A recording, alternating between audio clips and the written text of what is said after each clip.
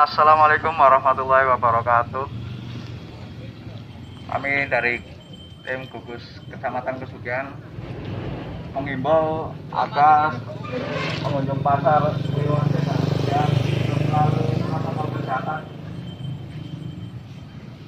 Yang pertama memakai masker, yang kedua menjaga jarak, yang ketiga mengurangi kerumunan, yang keempat mengurangi mobilisasi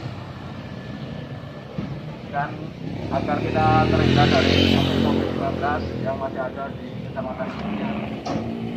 Demikian himbauan dari kami di gugus Kecamatan Sugian agar kita selalu sehat nantiasa terhindar dari COVID-19. Assalamualaikum warahmatullahi wabarakatuh.